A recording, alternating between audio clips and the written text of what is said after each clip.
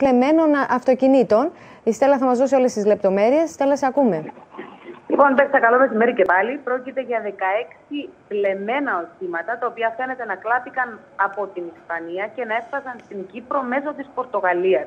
Είναι μια υπόθεση που διερευνά τον ΤΑΕΛΕΜΕΣΟΥ. Πρόκειται για αυτοκίνητα που κλάπηκαν μεταξύ Νοεμβρίου του 2016 και Μαρτίου του 2017 από την Ισπανία και έφτασαν στην Κύπρο σύμφωνα με το μήνυμα της Europol που στάληκε προς την αστυνομία της Κύπρου.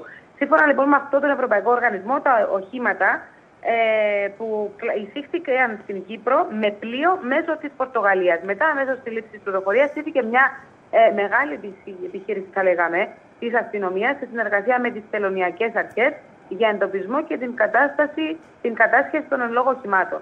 Μετά από έρευνα λοιπόν που διενεργήθηκε στο λιμάνι της Λεμεσού, εντοπίστηκαν και κατασχέθηκαν τέσσερα από τα 16 κλεμμένα αυτοκίνητα. Πρόκειται για αυτοκίνητα πέρσι πολυτελείας αρκετών χιλιάδων ευρώ. Ε, από διαγνωστικό έλεγχο που έγινε στα οχήματα πέρσι, ε, διαπιστώθηκε ότι, η, ότι η ταυτότητα των συγκεκριμένων οχημάτων δεν ταυτίζεται με αυτή που αναφέρεται στα οχήματα.